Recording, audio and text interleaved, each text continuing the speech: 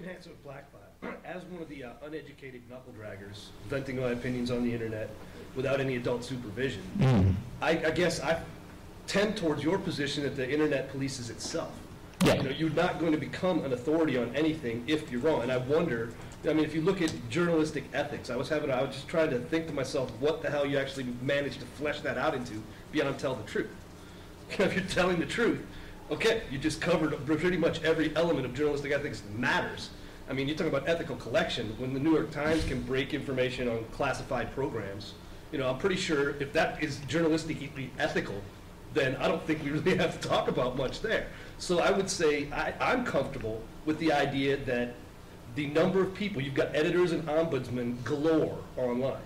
And if you are in a position where you rise to a level where you're gaining an audience and able to influence people, and yet you're full of it, you're going to be called on it. by Yeah. Somebody who can call you on it. And then consequently, if you stick to that golden rule of I'm telling the truth because my reputation matters to me, then that to me covers pretty much everything that journalistic ethics would have required in a formal setting. I like the spirit of what you're saying. I would make a few, a few amendments. Um, I would say, tell the truth is by far the most important thing.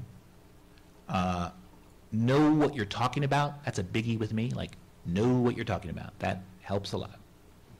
Uh, Here's where I'm coming from.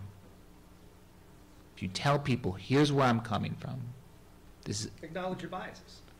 you could call it biases, you could say starting points, you could say perspective, uh, agenda. I don't care what words we use, because those themselves are loaded, but here's where I'm coming from, is part of it. Also, um,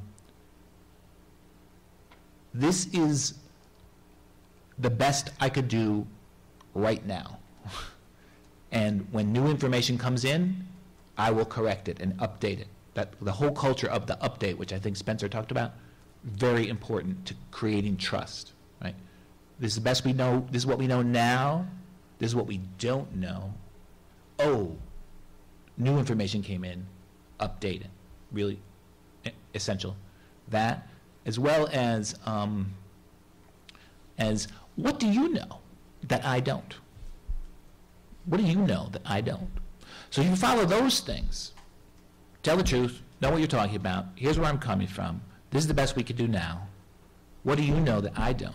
And you consistently follow those ethics, then the result will be you'll become reliable. And it's true what you said, you made a very good point, is that there's always somebody who knows more than you do out there.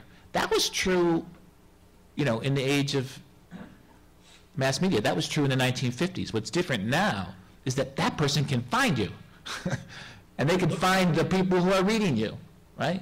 And you will be called out because of what I call, mentioned earlier, the horizontal part of communication.